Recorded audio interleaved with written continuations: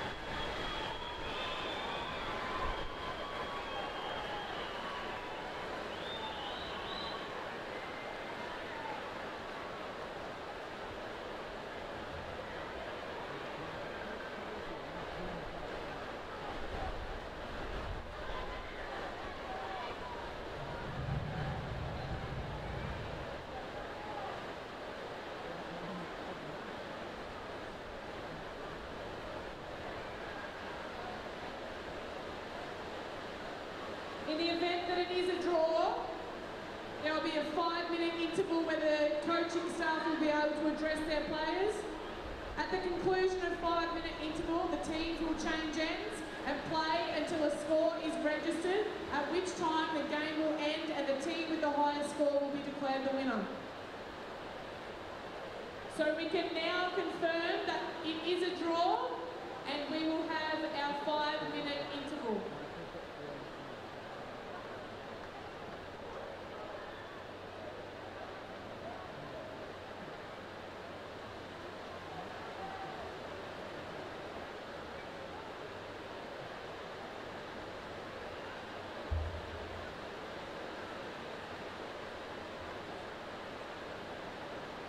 Just to repeat, after the five minute intervals, the teams will change ends and play until a score is registered, at which time the game will end and the team with the highest score will be declared the winner.